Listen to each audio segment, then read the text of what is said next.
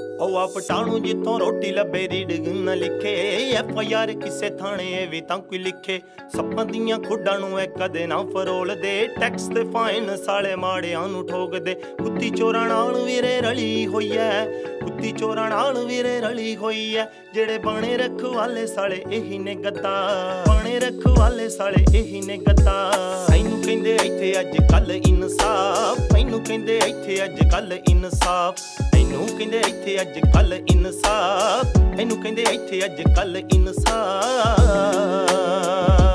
ਜੀ ਵੀਰੇ, ਹੁਣੇ ਹੁਣੇ ਸੁਣਿਆ ਤੁਸੀਂ ਸਾਡਾ ਆਉਣ ਵਾਲਾ ਗਾਣਾ ਇਨਸਾਫ ਤੇ ਕਿਹੜੇ ਕਿਹੜੇ ਵੀਰ ਨੂੰ ਇਸ ਪੂਰੇ ਗਾਣੇ ਨੂੰ ਸੁਣਨ ਦਾ ਇੰਤਜ਼ਾਰ ਹੈ ਔਰ ਕਿਹੜੇ ਕਿਹੜੇ ਵੀਰ ਨੂੰ ਇਹ ਗਾਣਾ ਚੰਗਾ ਲੱਗਿਆ, ਕਮੈਂਟਾਂ ਦੇ ਅੰਦਰ ਲਾਜ਼ਮੀ ਦੱਸਣਾ ਤੇ ਵੀਰੇ ਦੀਆਂ ਤਿਆਰੀਆਂ ਬੜੀ ਸ਼ਿੱਦਤ ਦੇ ਨਾਲ ਜਾਰੀ ਨੇ, ਬਹੁਤ ਹੀ ਜਲਦ ਹੈ ਮੁਕੰਮਲ ਗਾਣਾ ਵਿਦ ਵੀਡੀਓ ਤੁਹਾਡੀਆਂ ਨਜ਼ਰਾਂ ਕੀਤਾ ਜਾਏਗਾ ਤੇ ਸਾਰੇ ਵੀਰ ਤੁਸੀਂ ਬੜਾ ਯਾਰ ਪਿਆਰ ਕਰਦੇ ਹੋ, ਮੁਹੱਬਤ ਕਰਦੇ ਹੋ, ਤੁਹਾਡੇ ਲਵ ਯੂ ਦਾ, ਮੁਹੱਬਤ ਦਾ ਬਹੁਤ ਜ਼ਿਆਦਾ ਸ਼ੁਕਰੀਆ ਤੇ ਜਿਸ ਵੀਰ ਨੇ ਸਾਡਾ ਚੈਨਲ ਹਾਲੇ ਤੱਕ ਸਬਸਕ੍ਰਾਈਬ ਨਹੀਂ ਕੀਤਾ, ਚੈਨਲ ਨੂੰ ਸਬਸਕ੍ਰਾਈਬ ਕਰੋ ਔਰ ਵੀਰ ਦੀ ਦੱਬ ਕੇ ਸਪੋਰਟ ਕਰੋ ਯਾਰ ਬਹੁਤ ਸ਼ੁਕਰੀਆ ਲਵ ਯੂ ਹੋ ਗਿਆ ਸਾਰਿਆਂ ਨੂੰ।